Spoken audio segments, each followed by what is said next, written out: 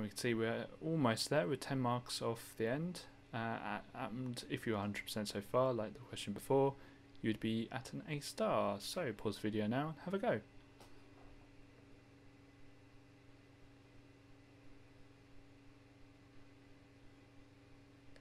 Okay, so uh, this one involves simplifying uh, algebraic fraction. Now, with these ones, when it says simplify it's got of gibberish at the top and of gibberish at the bottom, you will need to factorize. Um, so we know we need to factorize. These ones give you a little bit more of a hint because to be able to simplify it, you need to have a bracket at the top and bottom which is the same. So if you do the easier one first, it might actually help you with the slightly more complicated one, which is the one at the bottom. So I'm going to do the top one first. Now I know there's going to be uh, two sets of brackets because it's a quadratic. Let's try and do a nice line for the fraction.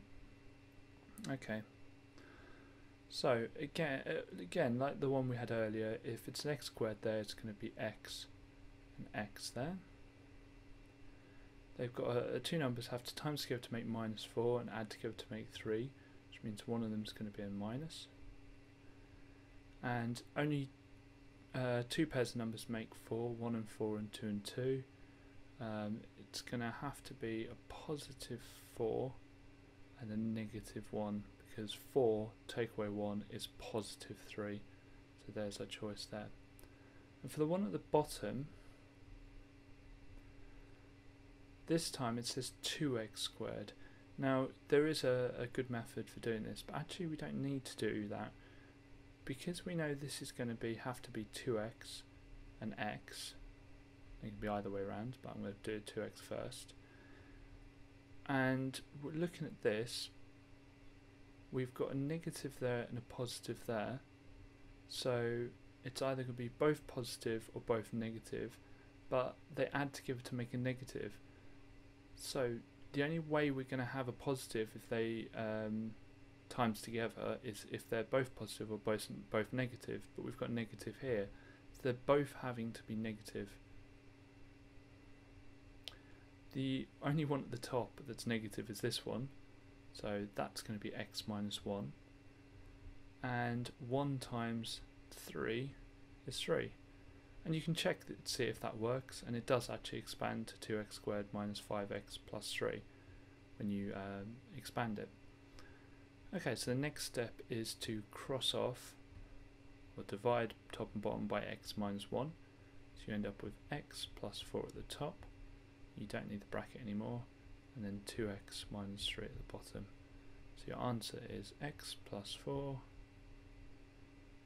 over 2x minus 3 and some people just put lines through them so I could do that as well put a line through them both to say that we're cancelling them down.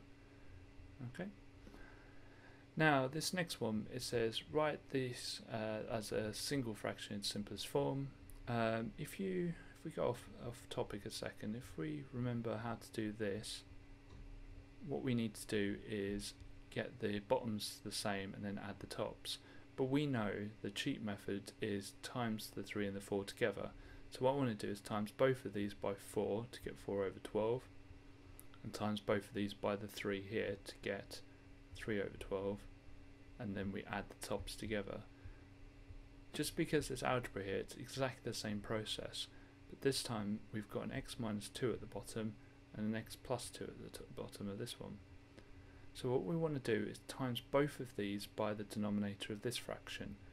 So it becomes 4 brackets x minus 2, because we're timesing the top by x minus 2, and we're timesing the bottom by x minus 2, so x plus 2, and we're timesing it by x minus 2.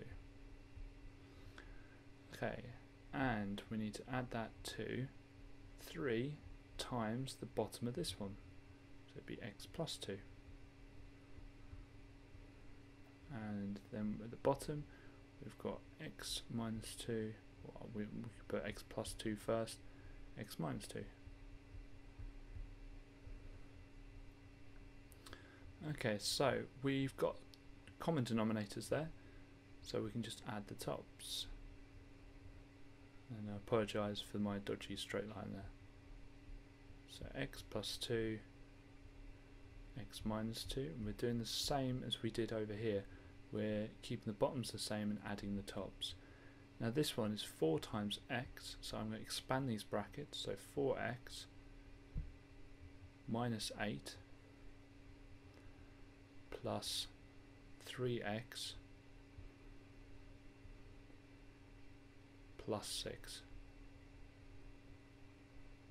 And to finish that off, I want to add the 4x and the 3x together to make 7x. Minus 8 plus 6 is minus 2. And then all of that is over x plus 2, x minus 2.